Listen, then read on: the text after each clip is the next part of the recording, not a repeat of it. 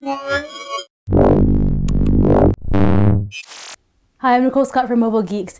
And if you've just picked up an iPad or if you've had one for a while, let me show you how to customize, navigate, and even save on battery life on your new iPad. What I've got here is the iPad mini with Retina. So my suggestions are going to be aimed at iOS 7 devices. So I'm going to start off a little bit simple, then I'm going to get a little more complicated. So let's say we head into my mail, and then I'm going to respond um, to this email here. So one thing that you can do is if you just do that, you can make it easier for thumb typing, or you can put it back together. Say I'm doing uh, an email. When I hold down the period, you can choose from all the different um, endings that you have. Another cool thing is if say you're typing and then you want to switch to numbers, sometimes you just hit this button and then change it over. But what you can do is you can actually swipe up and then it'll just, and so you don't need to actually change it over. Now there's one section in the settings that I think that you should pay closer attention to in general, and then you hit accessibility. This in here will help you to optimize a tablet for um, so you can turn Siri on and off so the speak selection uh, guided access actually will keep children um, say in a specific app. So if you if you set up the accessibility shortcut, you just triple click the home screen in order to make that happen. But other cool things are you can do larger type, right? So you can change how big the type is. If you say you don't want to read with your glasses on, you can make it bold. What makes this section pretty interesting is that previously you had to jailbreak the hardware in order to do any of these things. So now I don't have any messages on my screen now, but you actually can get a lot of your push notifications here on the screen. Now this can be a problem because maybe you don't want people checking out what your messages are. Uh, they've really changed the home screen a lot. You can actually go to the camera from the corner. A lot of people seem to have missed that. Or you can slide just to unlock the device. Uh, the reason why I think the camera feature is pretty cool is that if you did have a passcode in here, you can still access the camera without having to unlock your device. So that is actually pretty neat. Now, dealing with the notification settings, if you head into Notification Center, uh, Access on Lock Screen, you can actually uh, optimize which ones you want to show up there. So you don't have to let everyone read your emails.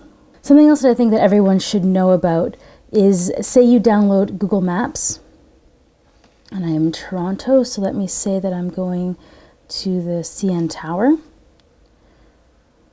So there's the CN Tower, and I want to, you know, know all the parking and everything like that. So then I would just go in here, then I would say, OK Maps.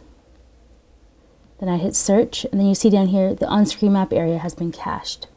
So that's actually how you do offline maps uh, on the iPad.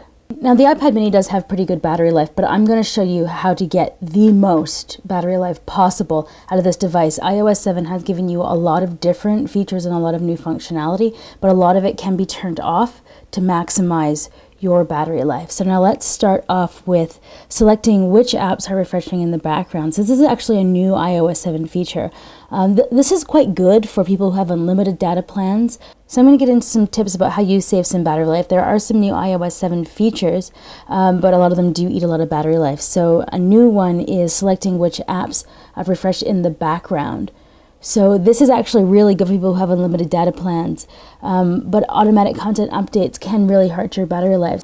So head on over into settings, general, background app refresh, and then you can actually select which apps you want to refresh in the background. You shouldn't have too many of them actually checked. Now the other place that you can help control what's getting automatically updated is you head on over into the iTunes App Store and then you choose that that does not get auto updated as well. All right, now another area that you can head into is privacy to turn off your location services or location services are great i use them all the time but it would be good to customize which ones you're actually using so all of these ones absolutely but if you head on into system services perhaps you're not changing time zones, so you could turn that one off. Popular near me, do you use that? Location-based ads, I definitely don't want that. Diagnostics and usage, I mean like these are some things that maybe you don't need to have on all the time. Now I already mentioned that if you head on into general and then accessibility, uh, turning off the motion motion here will actually also save battery life.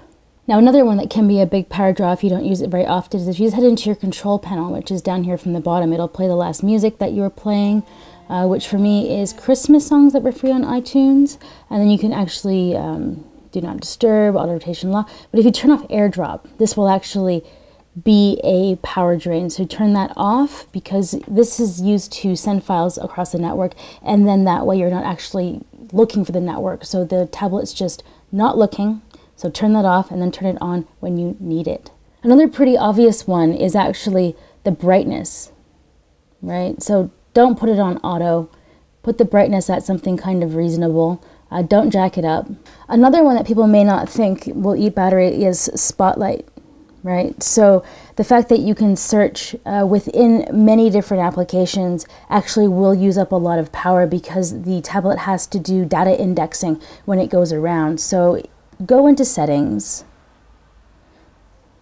general, search spotlight, and then actually only have it on on the places where you think that you're going to be using it. So contacts definitely, music, yeah, podcast not so much, videos not so much, right? Events, mail, those ones no for me. So it, when you're actually surfing around your tablet and you don't have these on, when you go into these sections, Spotlight won't be doing any data indexing, so it will actually save your battery life. Now here's a trick that'll work on any mobile device. If you want it to charge quicker, put it into airplane mode while you're charging it. So those are just a few tips and tricks around iOS 7 and the iPad. I'm your host, Nicole Scott for Mobile Geeks.